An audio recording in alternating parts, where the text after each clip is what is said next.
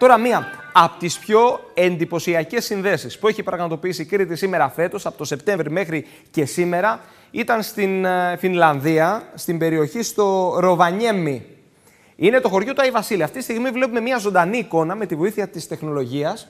Πώς είναι το σκηνικό, πώς είναι η εικόνα ε, αυτή τη στιγμή στη συγκεκριμένη περιοχή. Σε μια περιοχή που θα επαναλάβω ότι είχαμε βγάλει ζωντανή σύνδεση. Ποιος μας είχε βοηθήσει βέβαια για να βγάλουμε αυτή τη σύνδεση, ο κύριος Γιώργος Φραντζόγλου. Είναι μόνιμος κάτοικος της περιοχής. Ένα πολύ μεγάλο ευχαριστώ Γιώργο, μιλάμε στον Ενικό.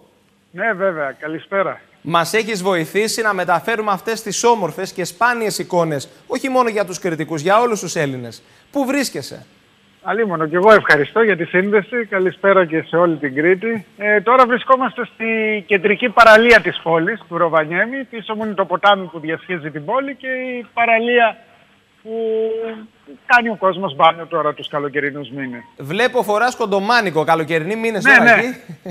Για, για τι θερμοκρασία μιλάμε; Να σας πω, αυτό το καλοκαίρι ήταν αρκετά ζεστό μέχρι τώρα. Τώρα αυτή τη στιγμή έχουμε 23 βαθμούς. Ε, περάσαμε ήδη δύο εβδομάδες οι, οποίοι, οι οποίες ε, οι θερμοκρασίες έφταναν ε, κοντά στους 30. Μάλιστα, κανένα δύο-τρεις μέρες είχαμε και λίγο πάνω από τους 30 βαθμούς.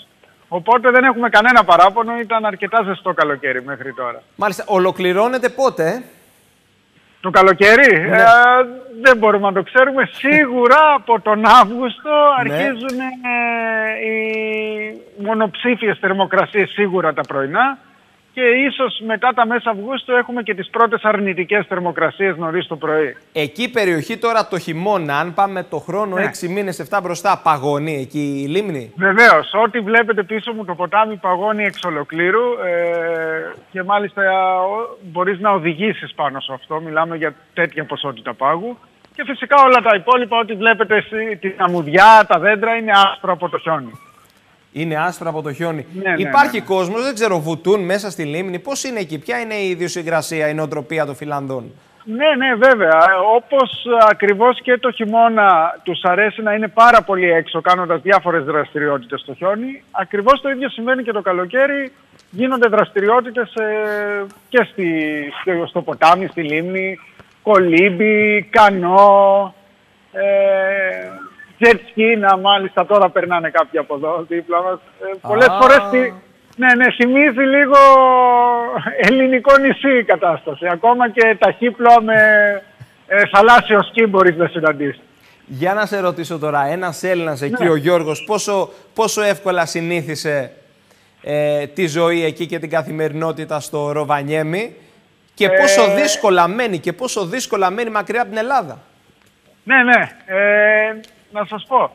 Τη συνηθίσαμε και εγώ και η γυναίκα μου πάρα πολύ γρήγορα τη ζωή εδώ. Γιατί πάντα είμαστε του χειμώνα, μας άρεσε και το χιόνι και η φύση.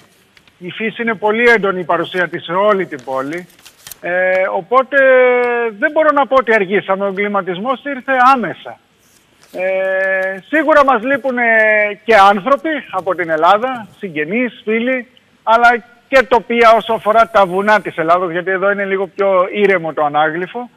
Ε, αλλά δεν μπορώ να πω ότι είναι δύσκολα το γεγονός ότι μένουμε εδώ. Ε, πολλές φορές σκεφτόμαστε ότι θα ήταν δυσκολότερο αν είχαμε μείνει στην Ελλάδα, θα ήταν πάρα πολύ πιο δύσκολο. Να ξέρεις ότι είσαι από τις ζωντανές συνδέσεις, συμπεριλαμβάνεσαι στις ζωντανές συνδέσεις που έχουμε λάβει τα περισσότερα μηνύματα. Α, χαίρομαι πολύ. Δεν μπορείς να φανταστείς πόσες απορίες και πόσα ερωτήματα δεχτήκαμε. Ε, οπότε να δεσμευτούμε να το επαναλάβουμε και το χειμώνα όταν θα είναι πλέον παγωμένο το ποτάμι. Βέβαια. Θα υπάρχει και το χιόνι. Να ευχηθούμε... Και θα χαρώ πολύ βεβαίως να τα ξαναπούμε. Να ευχηθούμε καλό καλοκαίρι. Επίσης, ό,τι έμεινε σε εμάς, γιατί σύντομα θα έχουμε φθινόπωρο, αλλά να ευχηθώ και εγώ με τη σειρά μου καλό καλοκαίρι σε όλους. Σίγουρα στην Ελλάδα το καλοκαίρι είναι ακόμα μπροστά.